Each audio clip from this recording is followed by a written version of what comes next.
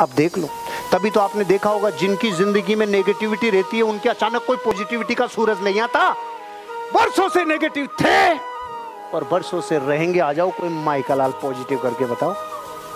और जिनमें पॉजिटिविटी की किरणें तेज गति से पौधने लग जाती है, उनकी ऊर्जा बढ़ने लग जाती है। साधारण बातें भारी थोड़ी लग रही है। सिंपल है, बिल्कुल। आज ज़िंदगी का पूरा हिस्सा नेगेटिव दोगे तो कल और नेगेटिव दोगे। अब डिपेंड करता है आप क्या कर रहे हो। आप देखो, आज दुनिया में जितने भी लोग ऐसी परिस्थितियों में रहते हैं जहाँ नेगेटिविटी नेगेटिविटी है तो गरीबी ज़्यादा है, तकलीफें ज़्यादा हैं, बीमारियाँ ज़्यादा है।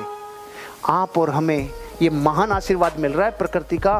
ये घटना छोटी मोटी नहीं है। एक ज्ञान का उजाला जीवन बदल देता है। मुझे ये पता चलने के बाद वर्षों की पॉजिटिविटी पे फिर मोहर लग गई।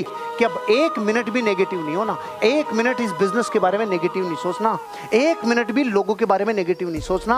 आपकी ज़िंदगी तब निर्माण होगी जब आप पॉजिटिव एनर्जी का फ्लो प्रकृति की तरफ़ देंगे।